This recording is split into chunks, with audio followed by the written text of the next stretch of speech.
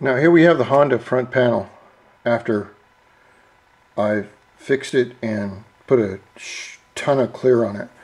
Um, this was uh, clear done with with um, catalyst, which is far superior. I added these two orange stripes because I wanted orange as part of the Repsol color over here. And I wanted to make it kind of just subtly dangerous. But like my Hawaiians friends, I'm not, don't make it too Filipino. Now it's going, to Philippines. What the hell are you talking about?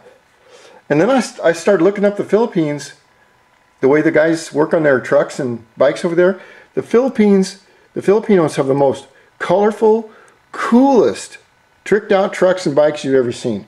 I mean, they're so bright and colorful and things they got hanging off them you can spot it from a mile away, but it's it's art, and that's what they meant. You don't um, don't overdo it. But I mean, no disrespect to the Filipinos, they have they got the best bling bling on their vehicles of any nationality. With all due respect. So I put the orange stripes on here, painted them, hand painted them again. And I don't know if you can see this, but I got this emblem off of of uh, eBay and it's got so much clear on it it's turned slightly yellowed. It used to be pure silver because when I uh, when I want to change the color on something like this what I usually do is I, I'll tape off the top and leave the top alone and then I just change the coloring here. So if I want and you can see let's see if we can get some HD up close here. See if we can do this if I wanted to take out, I'm trying to get a little bit of contrast here somehow. Maybe I can do it up here. You can see you can see where the orange peel is right there. And it's all over this, which is no problem.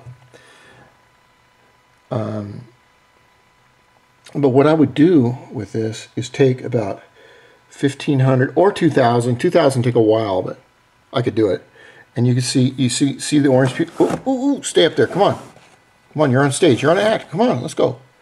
Damn, you can't can't get good help these days. You can see the orange peel right here as it goes up here. It's very very slight, and actually I could get away with it just as it is. I may do that, but I may not. It depends. Some days I I want to I, I just want to make it. I have the only moped in town like like this. And if you've ever watched any American movies, I mean, think about it. If you're not from uh, United States, if you've ever watched any American movies, how many mopeds have you ever seen in our movies? None, because there isn't any. But if you take a picture like downtown Vietnam, uh, I mean in Vietnam, they there's there's 2,000 bikes right there. If you look um, downtown Rome, two 3,000 bikes everywhere, but they just don't ride them here. They have no scooter laws no cop will ever pull me over and go in front of a judge and say, Judge, I, I caught this scooter. He was reckless driving. The judge would laugh him right out of court. Now, on this one, um, a few cops have looked at this, and I'm, i expect to be pulled over. There, uh, a sheriff looked at it, and two city cops. What I like to do when that, I'll give you, I'll give you a hint on what I like to do with police when that happens, nod your head at them like, yeah, hey, how's it going? And they're thinking, where do I know this guy from? And by the time they, they're thinking about that for, a second, you're long gone around the corner. Not that I could outrun them. I could probably give uh, most of them a run for their money with this one, but not, not this. But since most uh, police officers have never seen a gyro three-wheeler, they don't know if it's real or not. And that's why I put this big plate on the back. So what they, the cops look for this and this here. But usually they, they won't pull me over unless they're having a bad day. And then they can really be pricks.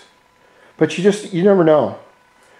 You never know. I just look at my, you know, it's a moped, dude. Uh, it's a moped. Don't you have something bigger to chase?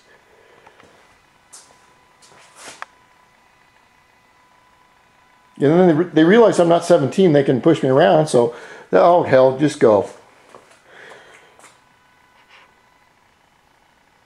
Okay, so that'll go back on, and I might take this off and re-clear it, Th this and the, the top one up here. I don't think my throttle idea is going to work, so I'm going to modify this throttle right here. I don't know if you can see it. I'm going to take out about a quarter of an inch or five or six millimeters in, in there and give myself a better throttle throw. With all this, this the throttle all together and the mirror and the kill switch and everything, I just uh, can't seem to get that one throttle on there. Besides, I've got too much bullshit going on at one time. I, I have to be careful about that. I've got an engine out. I've got uh, uh, radiators out. I've got uh, tires that are going to be fixed. I've decided this is my back tire, my, my big Pirelli. What I'm going to do is I'm going to take that big tire off and put the little one back on for now. Uh, that one's leaking anyway, so I got to take it off. But that's Sunday night in the shop in Wally World. I hope the excitement didn't kill you.